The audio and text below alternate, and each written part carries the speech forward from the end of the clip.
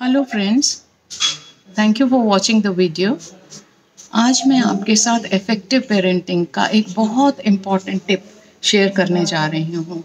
आप ये देखो कि the sign of great parenting is not the child's behaviour but the sign of truly great parenting is the parents behaviour सभी parents आप कितने lucky हैं कि आपको एक डिवाइन प्रिविलेज मिला हुआ है एक लाइफ नर्चर करने के लिए।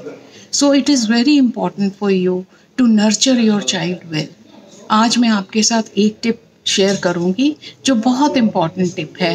How to boost your child self esteem it is very important क्योंकि चाइल्ड बच्चा जो है, अपना सेल्फ जो है, अपने सेल्फ का कॉन्सेप्ट जो है, आपकी आँखों से पाता है।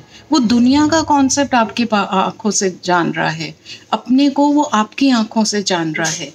इसलिए आपको बहुत केयरफुल रहना है, उसके साथ कम्युनिकेट करते समय। बहुत इंपॉर्टेंट है कि अपनी आप वॉइस की टोनैलिटी को चेक करें। अपनी बॉडी लैंग्वेज को चेक करें। अपने एक्शंस को देखें।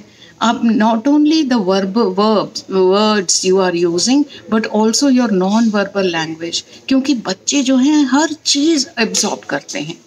और ये बच्चों के लिए बहुत इंपॉर्टेंट है, उनकी सेल्फ इस्टीम को बनाए रखने के लिए।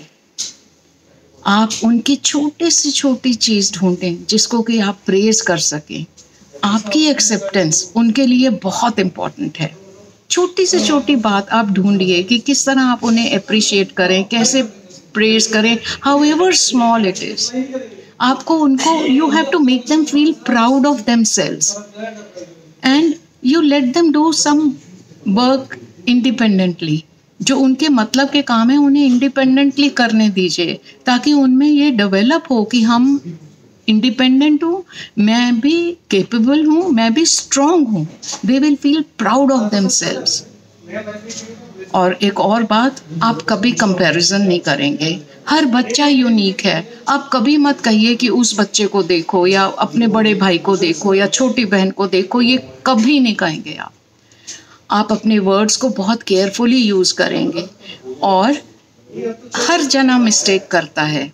तो बच्चे भी यदि मिस्टेक करते हैं तो कोई बात नहीं। Don't stop loving them you let them know that you don't like their behaviour but don't stop loving them let them be very sure that you they will be getting your unconditional love forever आशा है आपको मेरा ये tip पसंद आया होगा। आप मेरे channel को सब्सक्राइब करिए और लाइक बटन भी दबाइए। Thank you very much